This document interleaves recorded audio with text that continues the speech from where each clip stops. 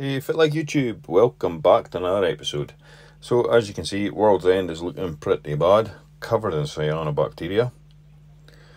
Picked up a few frags, some simple stuff, hoping that maybe this will take off a bit better than the, the Acroporas. Uh, fish-wise, everything's good. However, the Anthias have kind of been dying off and we're down to one Anthias and we've got one pintail wrasse. So uh, happy at least two of them have survived.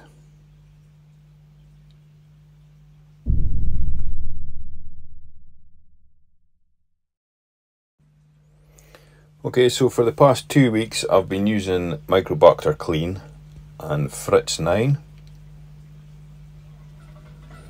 Now, this appears to have made a small difference to the cyanobacteria, but nothing major, to tell you the truth. The tank still looks terrible, the refugium is terrible. So I think what I am going to do is I'm going to use some ChemiClean just to get rid of the cyanobacteria so that then I can put my focus on removing and getting rid of the green hair algae.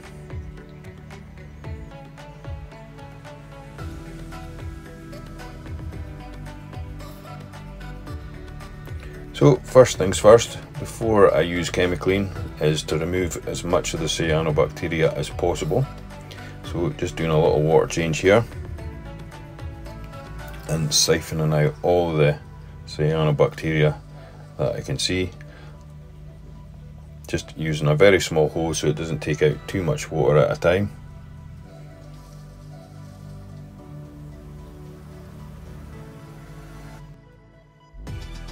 So I've siphoned out as much of the cyanobacteria as I can. And this just highlights how bad the green hair algae problem is.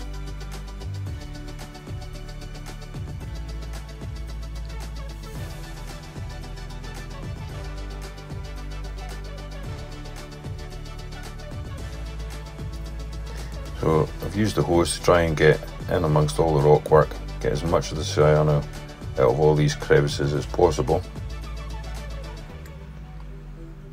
And now I'm just going to add some ChemiClean and see if we can get rid of this cyanobacteria once and for all. And then, like I said, I'll be able to focus on treating the green hair algae. Now to get rid of the green hair algae, I'm just going to be keeping my nutrient levels nice and low and hopefully in time the stuff's just going to burn itself out. And we'll also top up the cleanup crew since a lot of the cleanup crew in the tank has kind of passed away. So we're very limited to the amount of snails we have in here at the moment.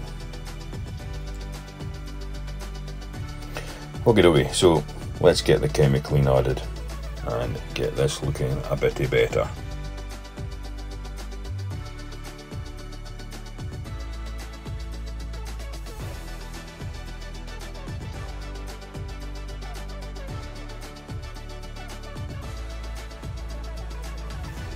Right, I've got a cup of water here.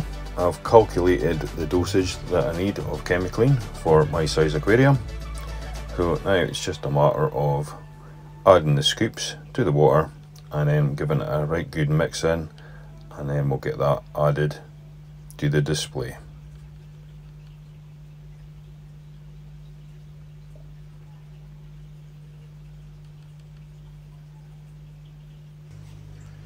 Add the ChemiClean all mixed up. over. Put some in there.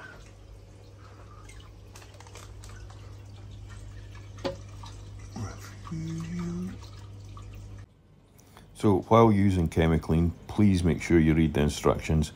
Step one, it tells you you must increase your oxygen level by adding an air stone. So for God's sake, do it. Running your skimmer is not enough. You really need to have an air stone in here as well. Because the ChemiClean reduces the oxygen level in your aquarium and the last thing you want is to be losing fish because you're using a treatment and you're not following the instructions properly. people who have problems with chemiclean are usually the people who try to cut corners during this process. So I've got it all set up and we'll see what like the tank is in 48 hours time.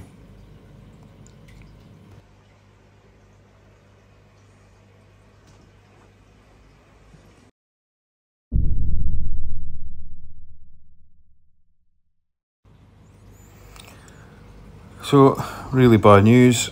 I've managed to scratch the front of my glass right on the front pane, as you can see. Now, the scratch is approximately 100 mil long and it's very noticeable when you're looking at the tank. All you see is this scratch.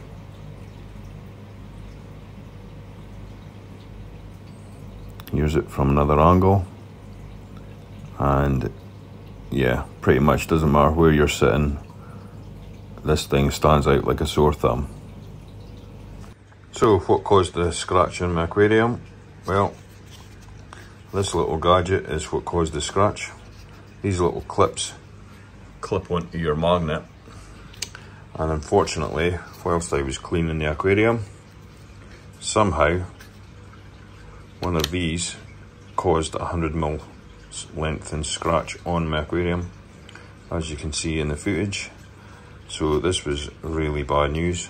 The only saving grace is the scratches on the outside of the aquarium which means it's easily treatable and it's quite easy for me to fix. However it just means in future I will not be using this. This is going to go in the bin. And it just shows you how soft your glass is on your Waterbox aquarium, which to me is amazing and pretty poor if you ask me that something that's made of plastic can actually scratch your glass. So that's another negative for the old Waterbox. The glass quality seems to be pretty poor in my opinion. However, in future I'll just be cleaning it with the felt side to make sure that nothing like this happens again. Okay, so let's get this scratch removed.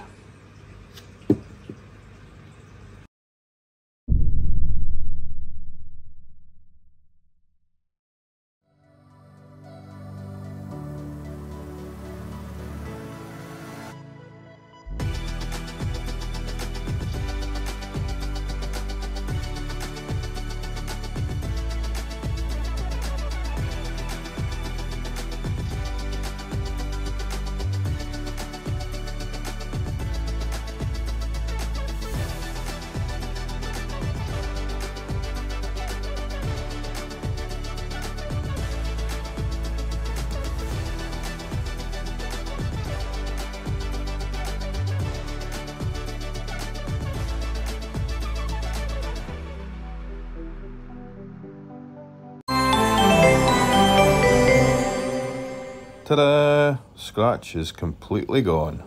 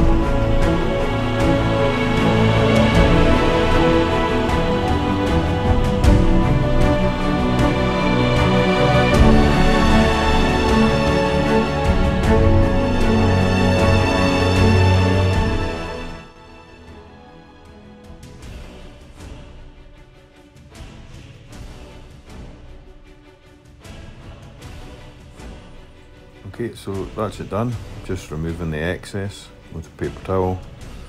Now I'm just going to grab a glass wipe. Give it a final wee polish. Now the key is that when you're using this stuff, just take your time and just work it in layers.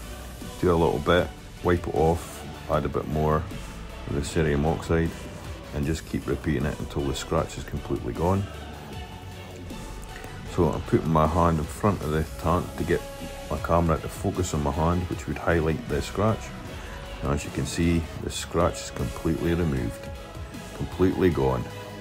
So that's brilliant, super happy with that. I'm just looking from a different angle now the glass inside the aquarium is a little dirty as you can see but the scratch is completely gone. So thank God for that. I am lucky that the scratch was on the outside so it was a very simple remove. If it was on the inside that would have been a whole different headache but so far I've never scratched the inside of the aquarium so that's a thumbs up.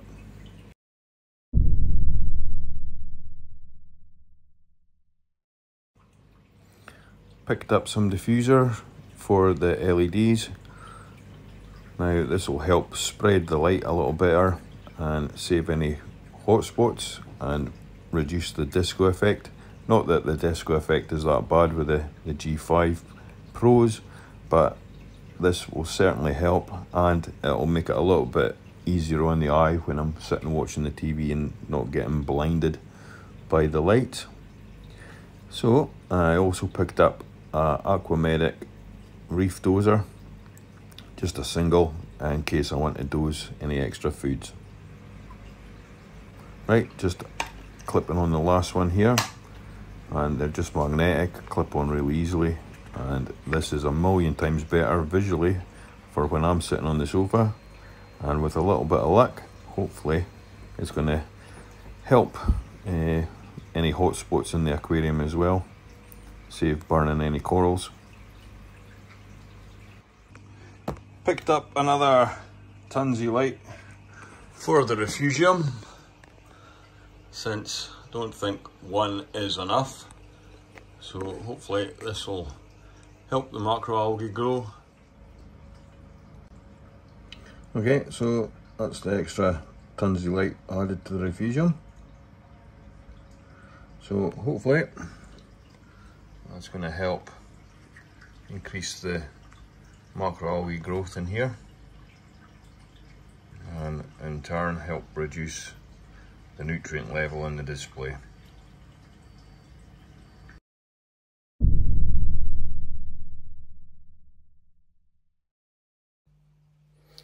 Okay folks, that's the results are in. The cyanobacteria completely gone. So that's really nice to see. I'm glad that's gone and I'm really happy I didn't wait 10 weeks for the bacteria to get rid of it. Um, the cyanobacteria, as long as you use it correctly, follow the instructions, it works perfectly every time. Now, there is that thing that, oh, you're going to wipe out all your good bacteria. Well, once you've finished the dosing of the ChemiClean, you've done your water change. All I'm going to do now is dose some bacteria to get it back in the system. So that's no problem. And at least now I don't have to look at that unsightly red cyanobacteria anymore. However, what's in its place? Green hair algae. So this really sucks and like I said in previous episodes, I think this is just leaking out of the rockwork now from when we had that 0.6 phosphate levels and there's nothing I can do about it. I'm just going to let it run its course until the phosphate is completely burned out of the system and this can take a fair bit of time especially since this is dead rock. So it kind of sucks but it is what it is. And I've lost a couple of corals. Now I wouldn't say this is down to the ChemiClean but I'm pretty sure the ChemiClean maybe didn't help. And this system has struggled growing SPS and it continues to struggle growing SPS. So I did pick up some easier SPS, uh, a couple of Montes, Stylophora, um, a Turbinaria, um, and the majority of things are okay, but there is the odd acro like this one, not looking too good. My green plate, it's kind of lost a lot of its colour, and I've fragged that piece there, hoping to maybe save it, but I doubt it. But overall, I'm very happy. I'm glad that the cyanobacteria is gone. That's a major boost. And in regards to the corals, I'm not even fussed about the corals. I mean, they're going to be easy enough replaced. My main concern was to ensure that I didn't lose any fish, which I've successfully done. So, that's it for this episode. Thank you for watching. Till the next one, bye bye.